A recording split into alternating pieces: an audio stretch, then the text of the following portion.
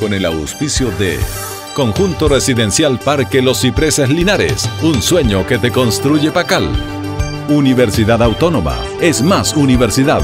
Preuniversitario Ceval, sólido en PSU. Y Berberry, The Power of Berries, alto nivel de antioxidantes. Presenta TV5 Noticias, edición central. En Panimávida se concentraron tradiciones en fiesta religiosa y popular. Solo una semana de vigencia presentó rebaja de tarifas en micros urbanas. Instalan señalética para invitar a turistas y viajeros a Linares. ¿Cómo están? Buenas noches y bienvenidos a nuestra edición central de TV5 Noticias a través de la señal de Linares y correspondiente a esta jornada del lunes 22 de enero de 2018. Vamos inmediato con las informaciones. Un sumario anunció en municipio de Linares a la empresa Aliservice encargada de los alimentos en el jardín infantil Mundo de Valentín. Este lunes las manipuladoras no llegaron a la hora establecida por contrato, lo que obligó a pedir a los padres que retiraran a sus hijos de ese la cuna. Vía llamados telefónicos a TV5 Linares, padres alertaron que en el jardín Mundo de Valentín en Linares, los niños eran devueltos a sus casas este lunes. Les avisaron a los apoderados que la sala cuna menor, de tres meses a un año, debían quedar al cuidado en casa porque no había manipuladoras de alimentos. El municipio confirmó este hecho. Las manipuladoras son una empresa concesionaria contratada cierto por la Junji donde ellos les pagan por cada ración que nosotros entregamos y obviamente que se contratan bajo esta empresa las manipuladoras. Ya es la empresa Aliservi que hoy día era las nueve y media de la mañana, las manipuladoras no se presentaban en el jardín, por ende nosotros teníamos que entregar la alimentación correspondiente a los niños. Quiero señalar ya que aquí tenemos guaguas de meses, por ende, estos niños chiquititos, siendo las 10 de la mañana, y hay que mencionar que ellos llegan a las 8 de la mañana, obviamente que hay que despacharlos si no tenemos el servicio que corresponde. Ya los más grandes están aquí dentro del establecimiento. El sumario anunciado espera tener resultados y advertir del cumplimiento de contratos. Esta es la primera vez que se nos produce este, este esta problemática, ya porque hay que dejar y señalar que nosotros eh, trabajamos con niños, por ende no los podemos dejar sin el servicio, así que se aplicarán la, los sumarios, las multas correspondientes a esta empresa, porque esto no puede ocurrir porque trabajamos con niños, como lo reitero. En el Consejo Municipal ya esperan tener en sus manos este sumario contra la empresa.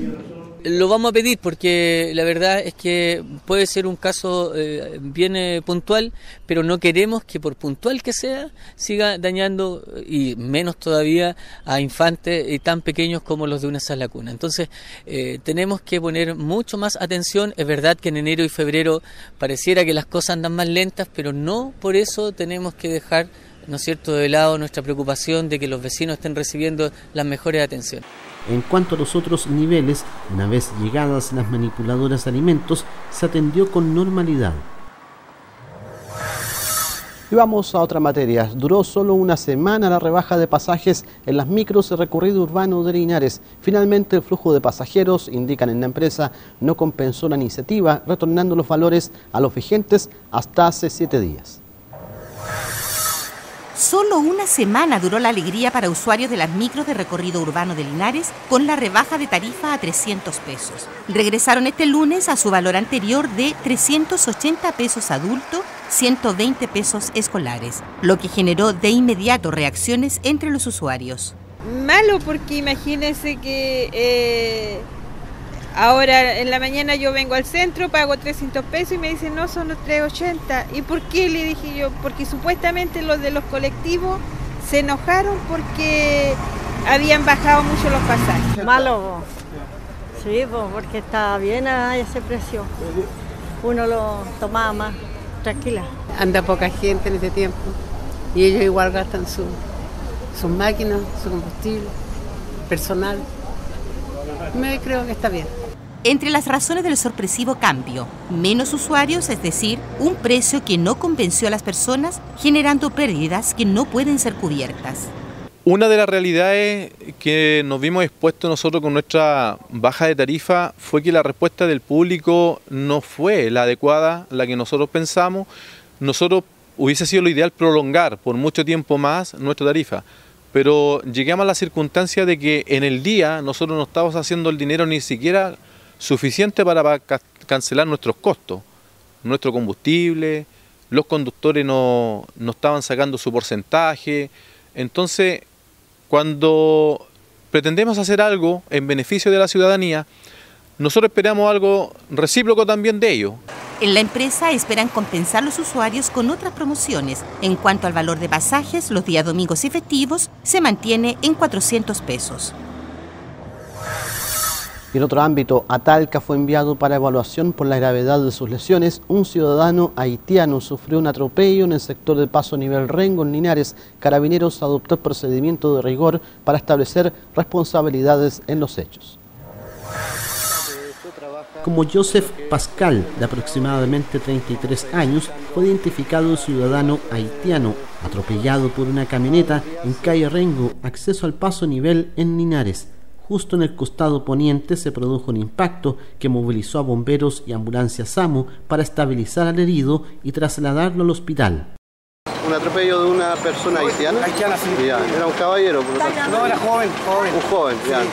Lo atropella la camioneta que está ahí. La camioneta que está ahí lo atropelló. Perfecto. La persona quedó inconsciente, tirada. No, quedó ahí, igual se muy algo, pero no sé qué haría porque no la más cerca de él. Ahí fue donde llega bombero eh. Samu lo atiende. Sí, llega Samu, los bomberos y desde el recinto asistencial, a través de su unidad de comunicaciones, indicaron que el diagnóstico es de gravedad por múltiples contusiones, por lo que fue necesario su traslado al hospital de Talca para observar su evolución. El conductor de la camioneta, en tanto, quedó a disposición de carabineros y la Fiscalía Local de Linares. En TV5 Noticias les comentamos que masiva fue la presencia de fieles en Panimávida en la fiesta de San Sebastián. Se pagan mandas, pero también se viven tradiciones mezcladas con el fervor religioso.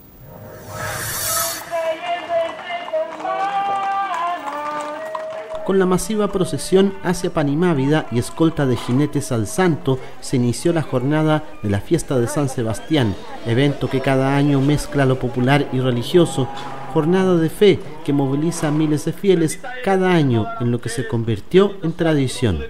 Deben ser unos 30 años, compadre, como 30 años, de ahí para arriba. Claro, porque tengo apenas 51 años ya. Bueno, yo, yo, lo veo, mis abuelos me inculcaron a mí, yo vi que que yo venía, veníamos en carrera, en carrera veníamos a Panimávida y mm, pues, años 65, por ahí más o menos, yo me recuerdo, y En la liturgia oficiada en la iglesia de Panimávida se renovaron los votos de fe, resaltando la espiritualidad de mantener a las comunidades unidas a través de este tipo de actividades que congregan a las familias esta alianza también entre la parroquia, la comunidad, la comuna, el alcalde, permite también dar más facilidades, permite que esta fiesta sea hermosa, que esta fiesta sea como debe ser, un momento de alegría, de encuentro, de familia, de paz para todos. Renovar nuestra fe todos los años y pedir por las personas que están enfermas, las personas que están en necesidad, los niños, los adultos mayores y que bueno, todos lleguemos a nuestros hogares al fin de la jornada siendo mejores personas y sin ninguna novedad.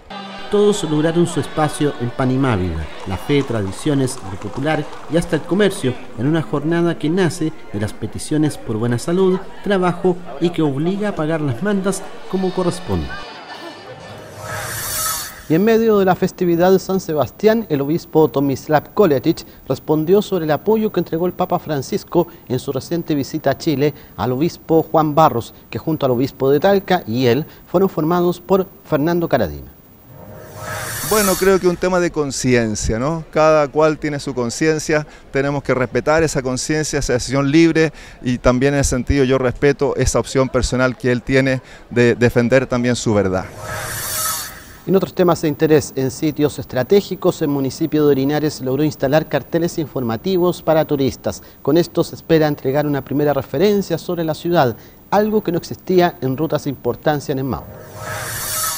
En los sectores de Corralones, punto de contacto con la ruta internacional Pehuenche, y en la ruta 5 se lograron instalar carteles alusivos a Linares, parte de un compromiso con sectores del turismo local para que por lo menos los viajeros tengan referencia de cómo llegar a esta comuna. Le estamos dando la bienvenida en Corralones, aquí en un punto estratégico de la provincia de Linares. Tenemos Colbún a nuestra derecha, hacia la cordillera tenemos el cruce de Pehuenche, a aproximadamente unas dos horas y media desde acá, dos horas desde acá. Todo el turista argentino, brasileño, uruguayo, paraguayo que ingrese por el Pehuenche obligatoriamente tiene que llegar a este cruce. Vimos que no había ninguna señalética, nada que diera información. Todos reclamaban eso. Así que con este letrero que comenzamos, ¿no es cierto? Porque yo creo que irán a haber muchos más. Eh, ya van a llegar los argentinos, obviamente va, así va a crecer el comercio. Lo propio se concretó en la Ruta 5 Sur, en espera de nuevas estrategias para advertir a viajeros. Creo que son em, las instancias y las iniciativas que hacen de que eh, ya podamos sentirnos un poco más compenetrados con el tema del turismo.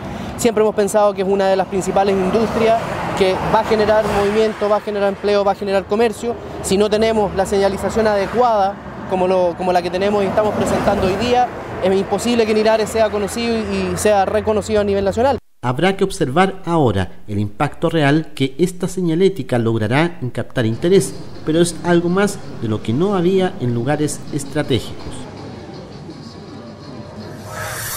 En TV5 Noticias les comentamos que un primer impacto positivo de parte de la comunidad recibe la intervención en 29 veredas de la comuna de Cauquenes en el Maule Sur, iniciativa que significa invertir sobre los 225 millones de pesos. Nosotros estamos pero muy llenas de satisfacción con todo esto que ha pasado, porque se luchó mucho para conseguir esto. Un cambio significativo en la calidad de vida de sus habitantes vive Cauquenes con el recambio de veredas, el centro y barrio estación con un avance de un 10% más de la mitad de nuestra población o cercano a la mitad son adultos mayores o personas de 60 y más años y en realidad eh, veíamos con preocupación cómo las personas en el acceso podían tener tropezones o potenciales caídas.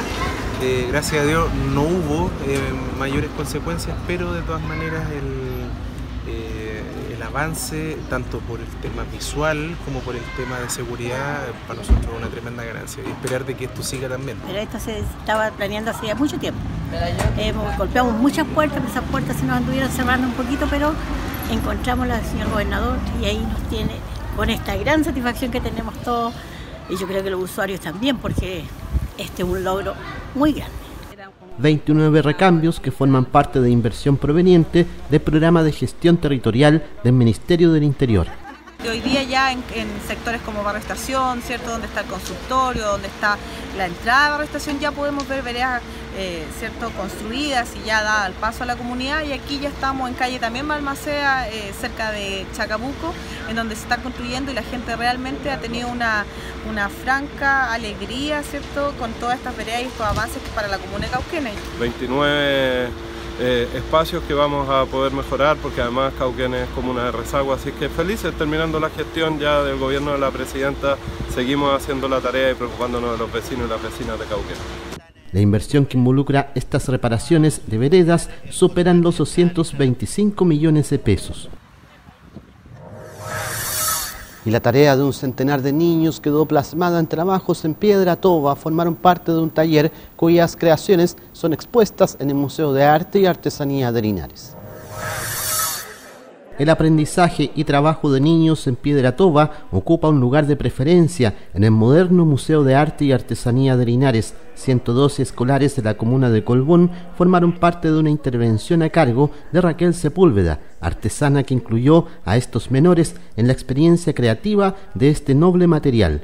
La idea fue hacerlo lo más posible eh, y sencillo para ellos. Eh, lo tomaron niños de cuarto, todo un curso de cuarto básico de la Escuela de Colbún, niños de octavo de la Escuela de Colbún eh, un mix de niños de quinto a octavo de la escuela de Panimavia y un mix de quinto y sexto de Capilla Palacio. Nosotros formamos un grupo de artesanos para trabajar la piedra en Quinamávida. Y actualmente sí, no, nos lo dedicamos tanto a la artesanía porque la, molemos y la vendemos como fertilizante, desinfectante y como cebolita natural. Cortar, lijar, atrapar el color, faenas que permitieron hacer realidad aros, colgantes y llaveros, que comparten espacio con seis piezas escultóricas de la propia artesana. una muestra que combina eh, todo el aprendizaje de los niños de estas localidades y también toda la experiencia que Raquel tiene como artesana de piedra. Eh, una exposición que va a estar durante un mes acá en el museo y la idea es que la gente venga a apreciar el trabajo de estas jóvenes, jóvenes manos, en verdad. Son niños de cuarto hasta octavo básico. La piedra Toba y yo, con las creaciones de los niños de Capilla Palacios y las escuelas de Panimávida y Colbún, permanecerá hasta fin de mes. Luego, algunas quedarán en exhibición por siempre en el museo y otras volverán a cada establecimiento educacional para formar parte de su patrimonio. A continuación, en TV5 Noticias, revisamos, como es habitual, el informe del tiempo.